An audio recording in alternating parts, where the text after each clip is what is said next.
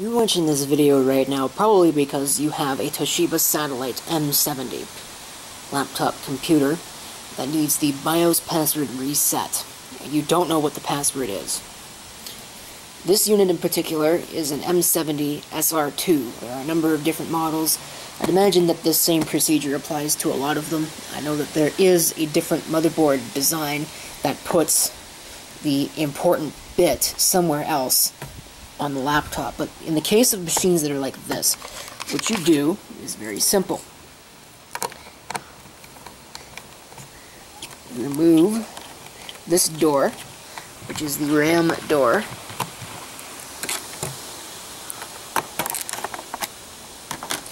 Which reveals the RAM, but we don't care about the RAM. If we go a little bit further, you can see some other things. You pull up this little piece of plastic